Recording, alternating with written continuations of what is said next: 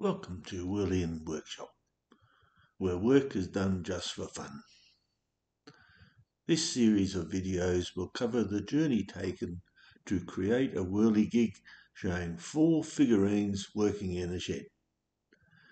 Each one is different in design and drive mechanisms. I will not be showing how to use any equipment as there are people who can do that better than me. I hope you enjoy the journey as much as I did.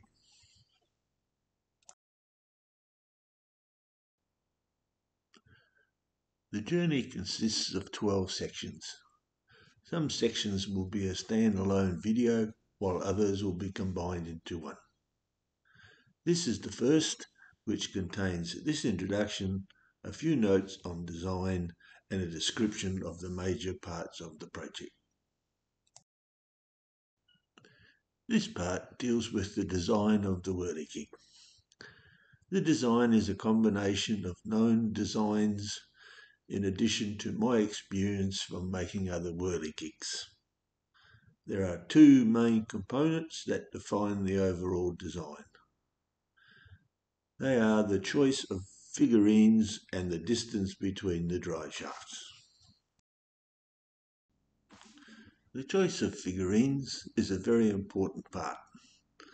A detailed design of each is required, which can come from whirligig books or by reverse engineering of pictures. A plan view of the intended figures is required to determine the extent and the position of each item on the floor. Each plan view will show the location of the figurine, the hole in the floor required for the connectors, any other holes required for attaching to the floor, location of any screws, the drive shaft center line, and the footprint of the floor. The second component is the location of the three drivetrains. This is determined by the necessary distance between the figurines and the distance determined by the size of the driving cogs. The combination creates the layout of the floor. This layout goes a long way in determining the other parts, such as the base and the spacing of the pillars to design the sides of the shed and the roof. The whirligig can be divided into separate but related parts. They are the four figurines, the floor, the base, the three drivetrains, the wind vane, the shed,